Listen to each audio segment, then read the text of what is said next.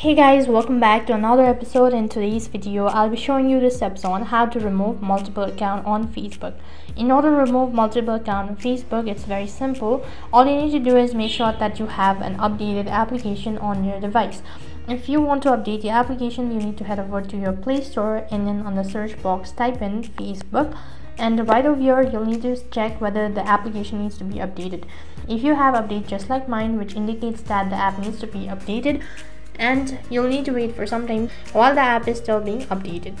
So after updating your application you'll need to log in. Update it click on the open button log in into your facebook application. Once you're logged into your account you'll need to click on the try bar icon and if you tap on the profile icon right over here you'll be able to see the number of accounts that you possess. In order to remove multiple accounts on facebook you'll need to first of all log out. So on this page scroll down right to the bottom click on the logout button.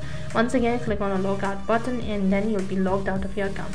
After that once again you'll be directed to this kind of interface where you'll be able to see how many accounts that you have on your facebook in order to remove either one of these following options or to remove multiple accounts, you'll need to click on the gear icon located right on top. After that, you'll need to click on this arrow icon and click on remove profile. As soon as you've done that and do the same procedure for the rest, rest of the other account and your account will be removed. In this way, you can remove multiple accounts on Facebook. That is all for this video. I hope the video was helpful. Make sure to like, share and subscribe to our channel. Also make sure to comment down below for any further queries.